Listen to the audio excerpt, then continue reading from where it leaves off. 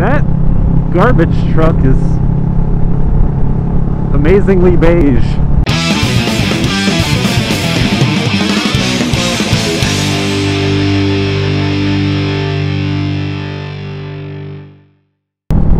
I have actually had to pee since before Oxnard, but the restaurant I went to had a line for the men's restroom. So since Santa Barbara and Oxnard are less than an hour apart, I just said, you know what? I'll hold it. I'll take my chances. I will pee Oklahoma. Does he still want to come over? Give it up.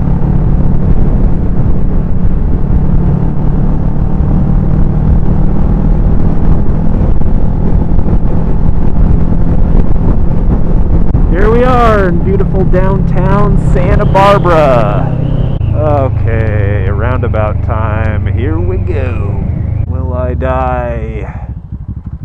Let's hope not.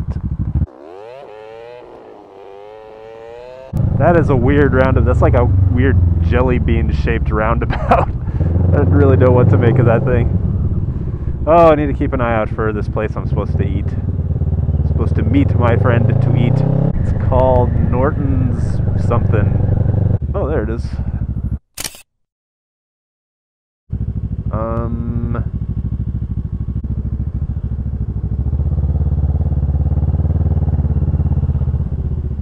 How boned am I? No parking whatsoever. Actually, I'll make my own.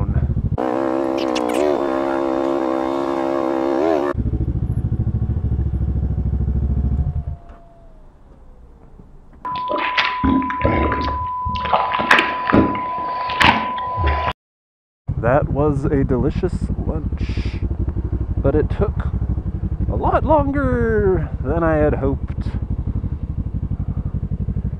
There was a little bit of a communications error with my buddy who I met for lunch here.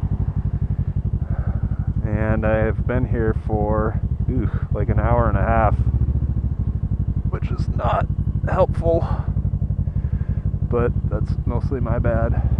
Hopefully, we will make it to this campsite before dark. Uh, I believe this is safe enough.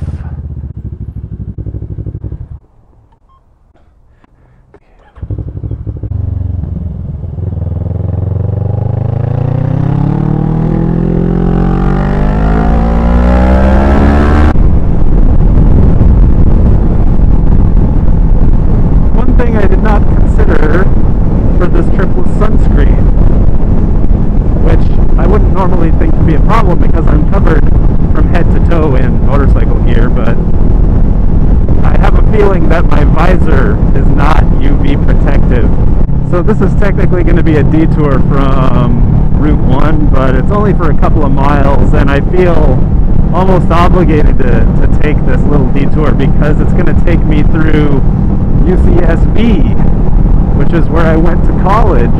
I got my bachelor's at UCSB, so I want to ride through the campus and I guess show it to you guys a little bit if you've never seen it, what it looks like, and also feel some nostalgia. This there's a freeway they used to call they used to call it the Santa Barbara what did they the Santa Barbara Super Speedway I think was the nickname for this stretch of road because everyone used to fly down it. It's only like this freeway only exists for a mile or like a mile and a half or something. And you know you get off the 101 and then there's just this like dead straight stretch of freeway that you kind of people would just go all out on pretty much from here until that bend you can see up ahead where it bends to the right and goes into campus. And the cops used to just sit here and give out tickets all day long because people just couldn't control themselves. So anyway, this is it. This is uh, UCSB. You can see it here in the, in the near distance. There's a lot of buildings that I don't recognize because the last time I came in from this direction was a long time ago. And uh, they've done a lot of construction, put up some new buildings. As you can see, it's a very beautiful campus. This is one of the reasons so many people want to go here. It's a gorgeous area. You've got the beach right over here. Clear line of sight to the uh, Channel Islands out there, out there. This is the Santa Barbara Airport. It's all very green, lush. It's all very modern. The campus is fairly modern because it's relatively new as top tier universities, top tier universities go. Oh, orientation. Are they already doing orientation? I guess they would be. I'm gonna. It's, it's almost time for me to do orientation for my grad school. I just got into grad school, so it'll be interesting.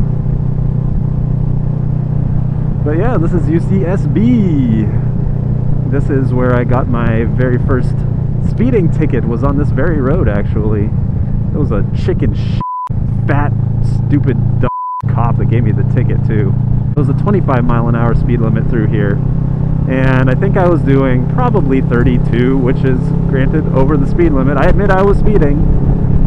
It, it certainly was safe. As you can see, they changed the speed limit up to 30 but uh, yeah, when I looked at my speedometer, I was doing 32, and that fat piece of trash cop that pulled me over said he clocked me doing 40.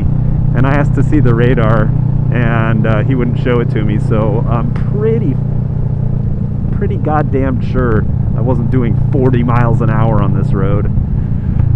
But that's what he ticketed me for. So I just went to traffic school to uh, get it taken care of.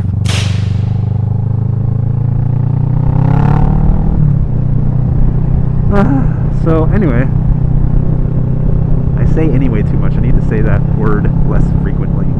These are the fields that we used to practice on when I was on the UCSB's Black Tide Ultimate Frisbee team, which I was only on for one year for a variety of reasons I won't go into in this video. I wonder if we'll be, I think you can, all this is new. All these buildings here are new. They weren't here when I was in school. This campus is expand. Well, it's not expanding, geometrically speaking, but population-wise, it's blowing up. They've built a whole new. They.